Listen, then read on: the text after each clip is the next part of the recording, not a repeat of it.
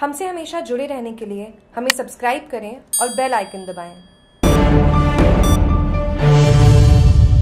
बढ़ते अपराधों को रोकने के लिए शराबबंदी की उठी मांग, एसपी ने रोहिड़ा पुलिस थाने में ली सीएलजी की बैठक। पुलिस अधीक्षक सिरोही धर्मेंद्र सिंह यादव ने बुधवार को रोहिड़ा पुलिस थाने में सीएलजी की बैठक ली। एसपी यादव ने रोहिड़ा के इतिहास के बारे में एवं पुलिस संबंधित समस्याओं के बारे में जानकारी ली। एसपी ने सालों पूर्व में रोहिड़ा में हुए गोलीकांड के बारे में भी जानकारी ली। रोहिड़ा सरपंच पवन राठौड़ ने एसपी धर्मेंद्र सिंह यादव के रोहिड़ा पहुँचने पर स्वागत किया। ग्रामीणों ने लिलोड़ी बडली हत्याकांड के बारे में बताया।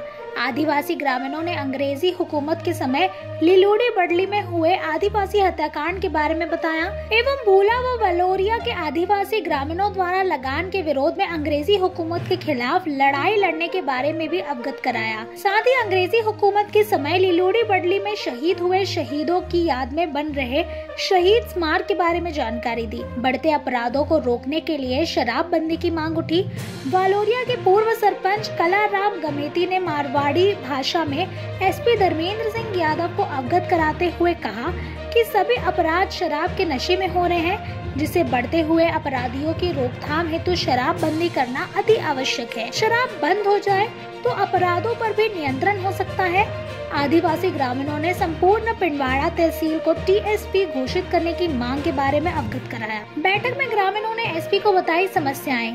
सीएलजी की बैठक में ग्रामीणों में रोहिड़ा में बढ़ रही चोरी की वारदातों पर अंकुश लगाने व इलेक्ट्रिक मोटर चोरी की बढ़ रही वारदात के बारे में एसपी को अवगत कराया। रोहिड़ा बस स्टैंड चौराहे पर ट्रैफ़िक पुलिस लगाने की मांग की। कन्हैया लाल अग्रवाल ने रोहिड़ा में स्थायी थाना अधिकारी लगाने की मांग की एवं जर्जर पुलिस थाना भवन की मरम्मत कराने के बारे में अवगत कराया, जिस पर एसपी सिरोही ने दो दिन में स्थायी थाना अधिकारी की नियुक्ति करने का आश्वासन दिया व पुलिस थाना भवन की मरम्मत करवाने हेतु बजट देने का आश्वासन दिया।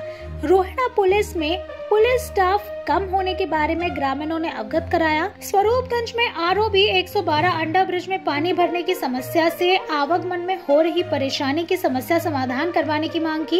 इंदिरा कॉलोनी में स्थित टैक्सी स्टैंड को रेलवे लाइन के उस तरफ़ ले जाने की मांग की। बैठक में ये रहे उपस्थित।